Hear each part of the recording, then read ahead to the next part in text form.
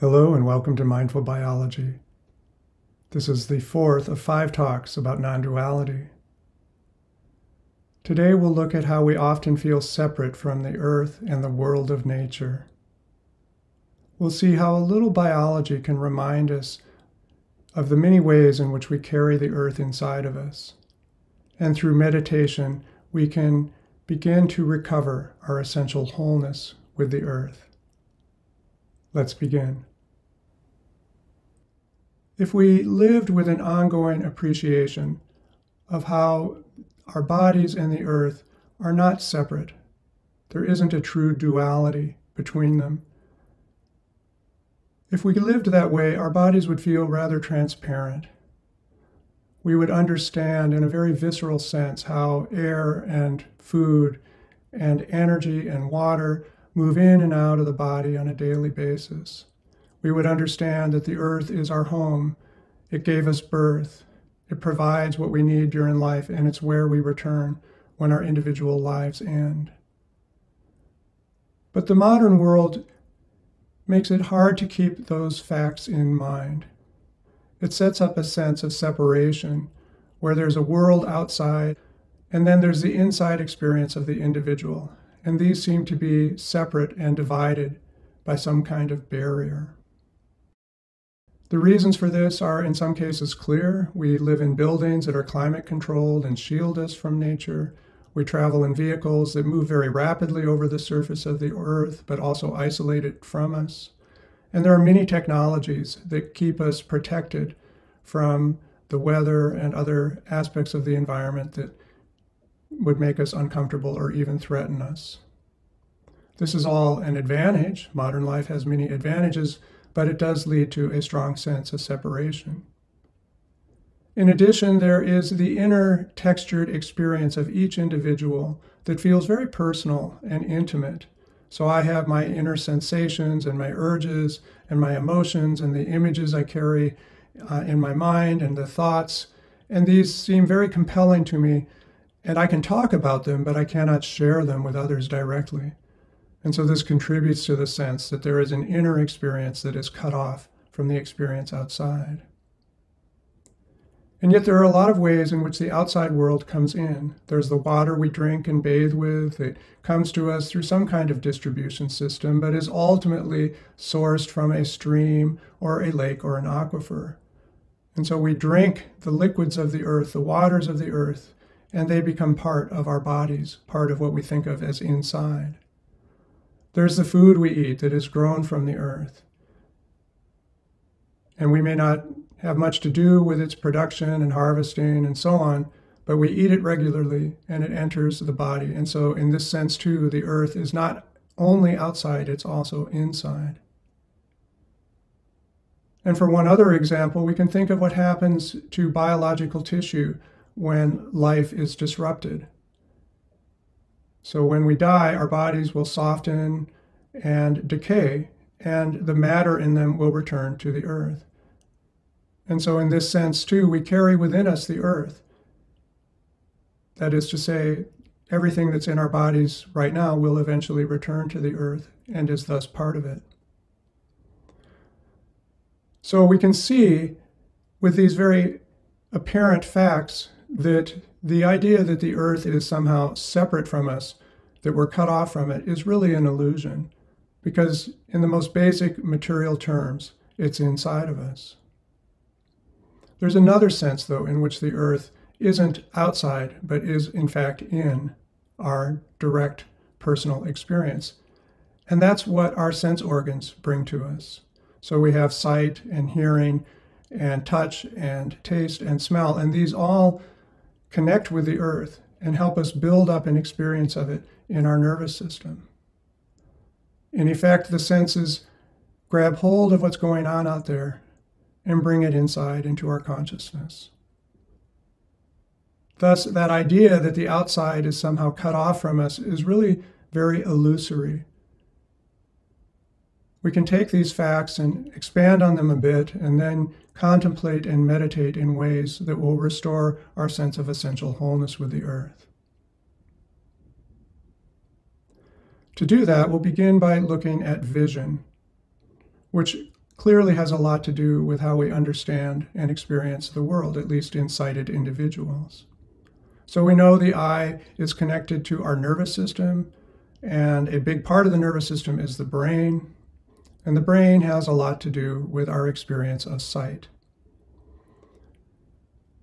It's connected very directly to the eyes. There's a nerve that connects the eyes to the substance of the brain, and there are fiber tracts which travel through the brain. And so the eyes up front bring in the visual information. They form images, much like cameras do. And then that information in the images is transmitted to the back of the brain, where the visual part of it resides, that is to say, the visual cortex. So if we look out upon the world and see, for instance, a mountain, what happens is the light rays enter the eye and the retinas in the eye begin to process the visual information. It then sends that information back through the substance of the brain after going through the optic nerve. And an inner experience of that self same mountain is developed in our consciousness. And so there's an inner representation of the mountain outside. And we think we're seeing the mountain outside, but what we're really seeing on a day to day basis is our inner experience of it brought to us courtesy of this very complex and beautiful biology. The process of building up an inner image of something outside is similar to what animators do when they create animated movies. So they might take a picture of a mountain and begin by sketching out a rough picture of it in the computer software. And then they might add features like snowpacks and vegetation. And they would eventually build up a rather convincing visual scene. And so we can go to a movie and perhaps even a 3D movie. We wear the right types of glasses and we see what looks very much like an actual terrain in front of us. Thanks to all that technology, all those skilled animators. But it's important to keep in mind how much goes into developing a computer generated image, particularly one in three dimensions, particularly one that changes like a movie. Huge numbers of professional animators work on the project, and a lot of very powerful computers contribute to the final product. It's impressive, to be sure, but if we compare that to what's going on in our bodies, it's somewhat less impressive because the little brain, much smaller than all those racks of computers, is capable of generating a three dimensional experience of the world that we can actually move around in. We don't have to sit in one place and wear 3D glasses. We can get up and move into it.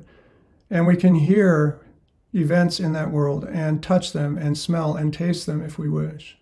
All of this happens very quickly without a whole room full of computers, without hundreds of animators, and so on. It's an everyday and moment by moment fact of our existence. Quite impressive, in my opinion.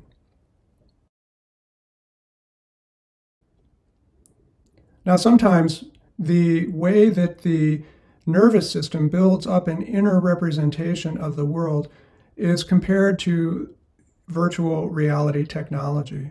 So we could say that we carry within our consciousness a virtual reality that somehow reflects what's going on in the world outside. I actually don't like that terminology. I like to think of it more as a kind of natural resonance.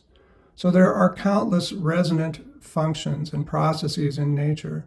One of them is the so called Schumann phenomenon that I learned about when I was preparing this talk. Evidently, when lightning strikes the Earth, as it does frequently all around the planet, electromagnetic wave patterns are set up in the atmosphere and in the ionosphere above the atmosphere. And these patterns resonate and form a kind of music of electromagnetic energy that fills that space hundreds of miles above the planet in a resonant and harmonious way. So nature has this way of resonating and harmonizing. And we can even look at the whole process of biological evolution the way the human species came from earlier species of hominid, from ape-like animals, from earlier primate species, from all the terrestrial uh, lineage of vertebrates and the lineage of organisms that were vertebrates in the sea and then earlier invertebrate organisms and so on. This was discussed in the last talk.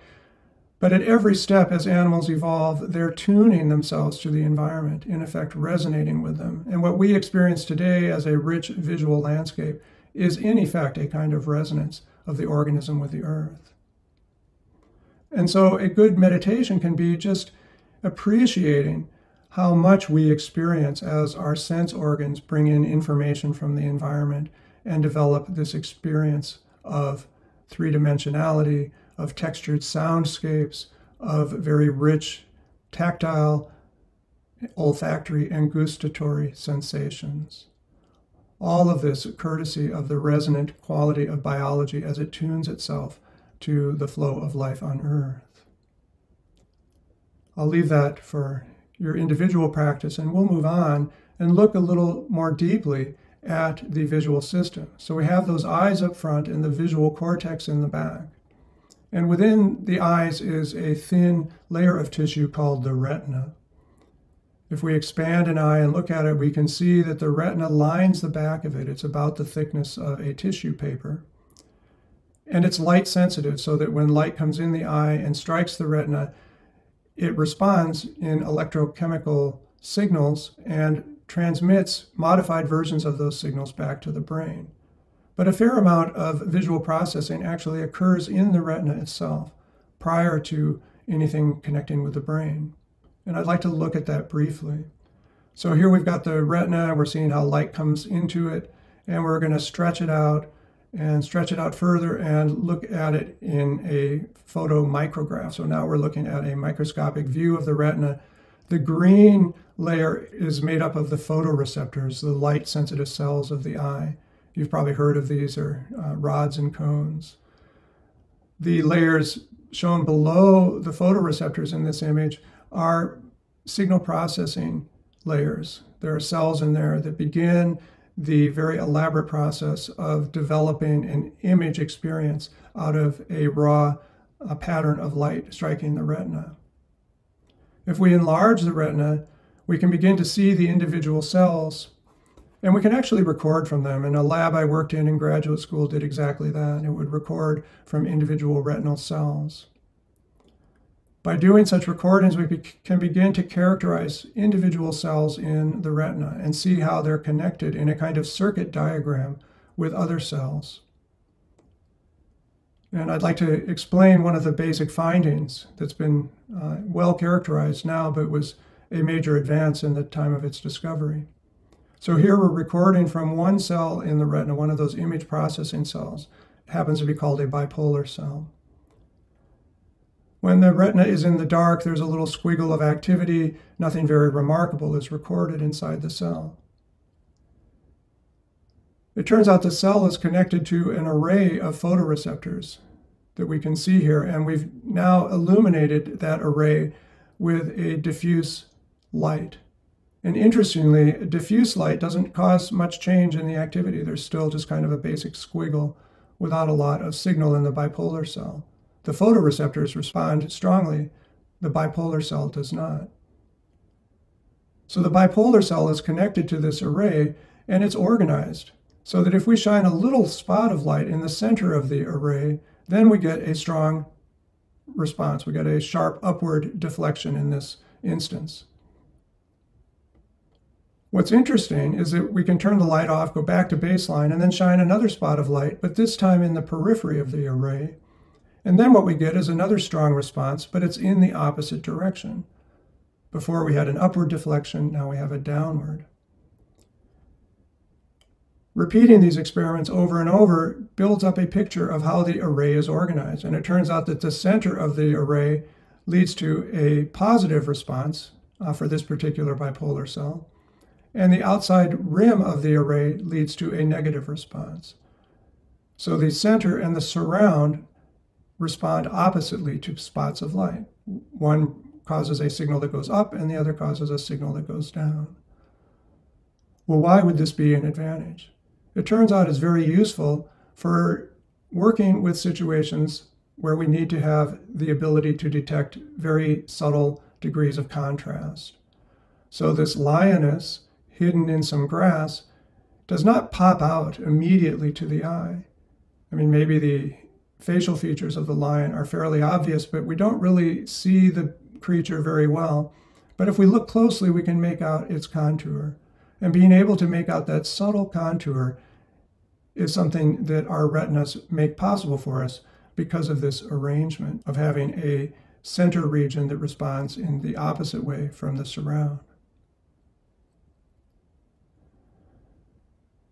This behavior is the result of how nerve cells interact with one another. So we're looking at two nerve cells here, also called neurons. The left half of each cell is what we might think of as the input side, and the right half is the output side. So a signal travels down the long stem of the nerve cell from the input to the output end. It can then jump to the next neuron set up a new signal in that one which continues. That process of jumping occurs at what we call synapses, which I'm sure uh, everyone has heard of, and I'd like to briefly look at a synapse. So we enlarge and we look at a simple schematic of a synapse. And what we see are vesicles of neurotransmitter. So this could be serotonin or dopamine or endorphins, some of those famous neurotransmitters. There are many uh, possibilities. When the signal arrives at the output end of the neuron on the left, it stimulates the release of these neurotransmitters. The vesicles open out to the surface, the transmitters diffuse to the next cell in line, and they set up a signal in that one. Now, this looks fairly simple in this picture, but it's actually highly complex. The synapse is a very sophisticated structure, a little bit like a microprocessor. It has a lot going on inside it, as this picture shows. There's a, a lot happening there, a lot of proteins, a lot of chemicals, and there's also a lot of movement. Now, cells communicate with each other outside of the nervous system. Here we're looking at two immune cells. The one on the left has eaten some kind of invading organism. It is what's called a macrophage, which is to say it's a large cell that eats other cells and it's transmitting information about what it's eaten to the little lymphocyte on the right so that the lymphocyte can go and mount an immune attack. So we just saw an instance of two cells communicating. Of course, life communicates all over the place. We could think of the pollen transfer from one flower to the next through the intermediary of a bumblebee as being another instance of life transmitting information from one form to the next. So, two neurons in the brain are simply doing what life does in many cases all over the place. Now, of course, neurons in the retina or in the brain are not isolated. There are lots of them all around. And so here I've added a couple, and each of them have an output end that feeds into the same input end of the neuron on the right. And it's actually the summation of all the signals coming from all the cells that is detected and leads to a propagating impulse down that cell on the right. And then, of course, the cell on the right connects with other neurons to the input ends of others. So we've got the output end connecting with three input ends on the right there. And signals can be sent to each of those, and if the signal is strong enough, impulses will be set up in those cells as well. And of course, we could keep going. There's cells to the left of the original cells we started with. There are also cells that form feedback loops that, so that the output end of one connects to the out, input end of a couple of other neurons and comes all the way back and connects with the input end of the original neuron, creating a loop. Now, this kind of basic arrangement is sufficient to lead to the array that we saw before. In fact, though, this kind of simplistic setup isn't going to give us what we think of as human vision. It might allow us to pick out little spots of uh, bright and dark and color and so on, but it wouldn't really give us a very detailed picture of the environment. It certainly wouldn't allow us to detect a lioness hiding in the grass. That requires more neural tissue. It requires, in other words, the brain and that visual cortex that we've talked about. Now, the visual cortex has layers upon layers of millions upon millions and even billions of nerve cells, all of them sending impulses, all of them interacting, and in ways that are only partially understood, developing a visual image. The idea that many cells can interact in a productive way is, I think, well understood. Here we're looking at heart cells. These can be grown in isolation until they expand and connect with one another. And when they do, they begin to throb or beat in unison. And so this is an example of the collective work of many cells, in this case forming a contraction in a heart muscle, obviously very important to life. The collective action of nerve cells is, in some sense, similar, although far more complicated. I like to think of what's going on in our nervous system and indeed in the whole body as being rather like a garden. It's a garden of life that we experience moment by moment as we see and hear and touch the world. The world is brought into our bodies where we experience it directly as a sensory experience. So that when we look upon a three dimensional scene or even walk through it, there's a sense in which the garden inside our nervous system, and indeed the garden inside our whole bodies, is producing this experience for us. And we think that we're looking at something outside of our organism, but in fact, we are really seeing the activity of our own cells that are resonating with whatever is actually out there by virtue of light rays and sound rate waves and so on. But what we see is the activity of our own cells, again, in resonance with the mountains outside. And so the mountains that we're looking at as we move through them, in a sense, are part of our own body. By that I mean that what we are seeing, again, is our own cellular activity. Yes, of course, there's a mountain that's actually out there, and we can learn a lot about it from our visual images, but the images themselves are biological and internal to our organism. For me, this is a very profound and I would say spiritual fact. And so life is built from this internalization, this inner resonance of the organism with everything that's out in what we call the larger world. And so when we think about our bodies and how they have that rich and textured sensory and mental experience, the emotions and the urges and every other thing going on inside there that feels so close and personal, we could think of that inner experience as being our own inner garden of life that is resonating moment by moment with the world outside. And it has within it, of course, the waters of the earth and it has the earth itself in the form of the solid stuff we call food.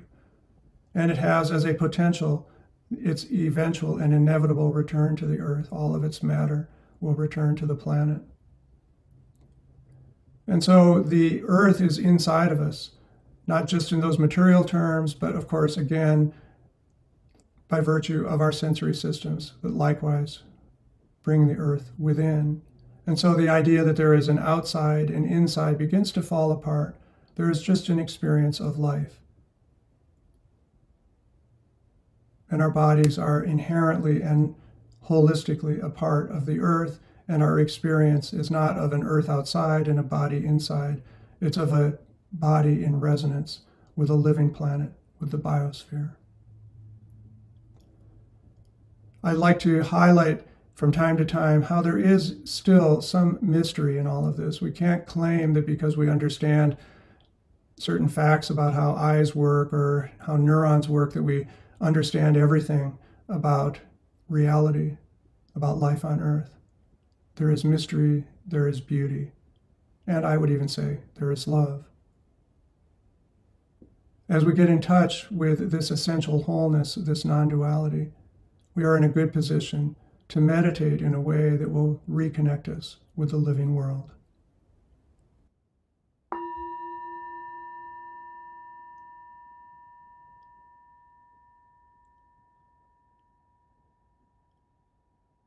You can keep your eyes open. If there's a window or a picture nearby, look toward that.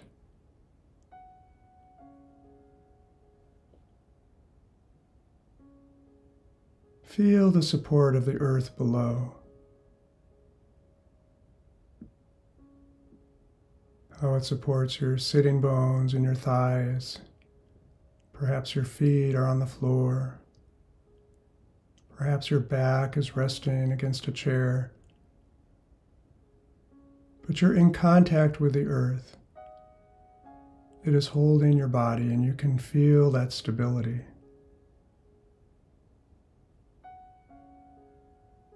So the earth is near. And the mass of your body, the substance of it that the furniture and the earth hold, that comes from the earth and will eventually return to the biosphere. So you can feel the substance of your body as part of this planet.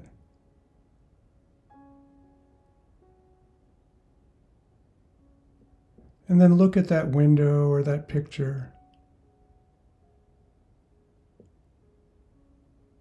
And you may think that that's a picture on the other side of a room or it's a visual scene outside a window. And of course, there is something on the wall or there is something outside the window. But what you are actually experiencing is your own cellular resonance.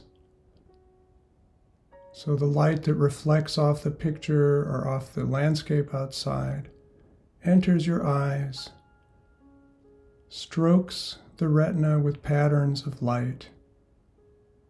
The retina responds,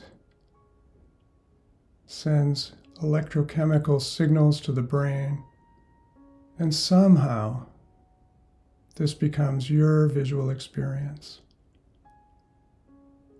You're looking at the activity of your own cells every time you open your eyes. And we could go further and say how you may think you're hearing my voice and that it's coming from some kind of computer or phone. And that's true. But what you actually experience is your own brain resonating with the sound waves in the environment, which happen to have been generated initially by my voice. You're living in this garden of cellular activity that is a body that provides you with sights and sounds, feelings of touch, taste, smell, the sensations in a body, the mental and emotional experiences all of it a garden, a garden of living process, layered and communicating, resonating with the world. And so, what you see outside is your own nervous system as it brings you this picture of the outside world to help you survive and thrive, and perhaps to experience feelings of love and support, awe and wonder, and to reconnect you with the essential wholeness that is your life on this beautiful planet Earth.